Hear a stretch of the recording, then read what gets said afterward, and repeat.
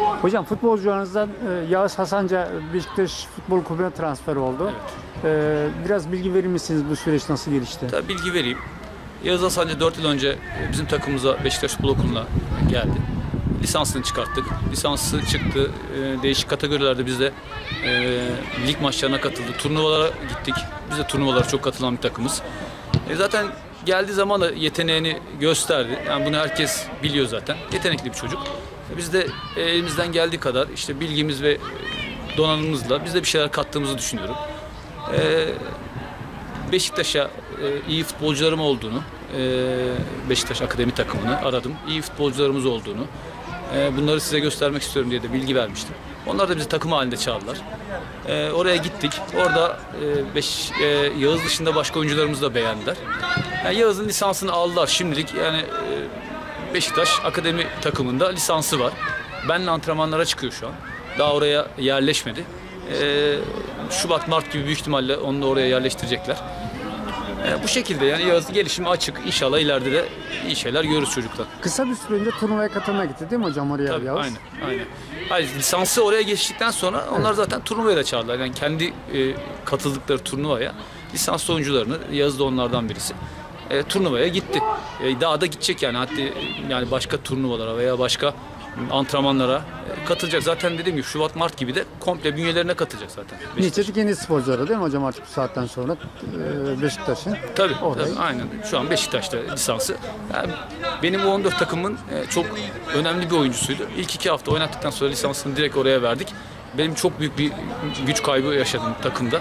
Yani bir şekilde yerini doldurduk ama Yağız'ın tabii farklı özellikleri var. Yeri kolay kolay dolacak gibi de değil ama yapacak da bir şey yok. Önemli olan çocukların gelişimi, çocukların geleceği.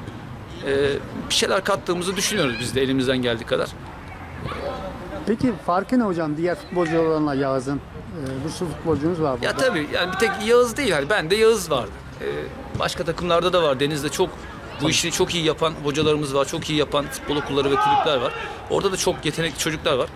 Ya yetenek ya. Yani Allah bir kere yetenek verecek. Üstüne e, çalışma azmi verecek. Çocukta hırs olacak. Ee, sadece yetenekle de olmuyor dediğim gibi. Bunun üstüne işte e, üst takımlar e, veya işte yukarıdaki elit takımlar çabuk olmasını istiyorlar, kuvvetli olmasını istiyorlar, oyun bilgisinin yerinde olmasını istiyorlar, zihinsel yeterlilik istiyorlar. Hepsini bir istiyorlar yani. istiyorlar da istiyorlar. O yüzden e, her yer top futbolcu kaynıyor. Yani e, çok ücra bir yere bu Arkent'e turnuvaya gidiyoruz. Her yer çocuk, her yer futbolcu. Ama işte aradan e, birkaç tanesi çıkıyor. Çıkıyor derken de bu futbolcu oldu. Haydi işte haydi bakalım hayırlısı olsun. Öyle bir şey yok. Daha 13-14 yaşında bir çocuktan bahsediyoruz. Bu e, yani 15-16 yaşında ergenlikte nasıl bir gelişim sağlayacak? Fiziksel olarak, ondan sonra zihinsel olarak oralara uygunluk var mı? Bunlar tamamen bir şans, nasip. Yani her şey belirliyor bu çocukların şeyini. E, Şu an için ilk aşama için güzel şeyler tabii yani heyecan verici şeyler. Sizin için de gurur verici değil mi hocam? Tabii benim için gurur verici. Yani benim için ya Deniz Spor'da ben çok oyuncu verdim. Ee, yani Altın Ordu'ya da verdim. Şeye de verdim. Konya Spor'a da verdim.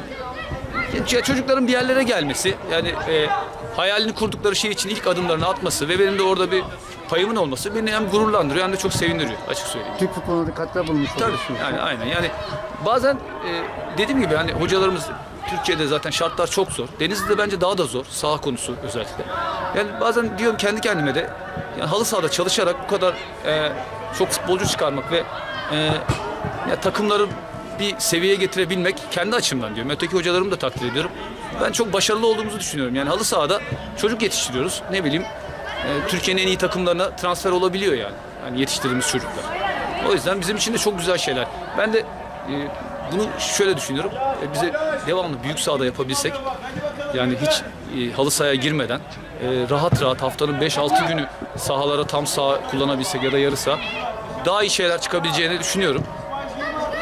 Yani her şeyin hayırlısı tabii. İmkanlar biraz daha gelişse Ya değil mi Türkiye'de ya yıllardır konuşuyoruz. Hiçbir adım atılmıyor.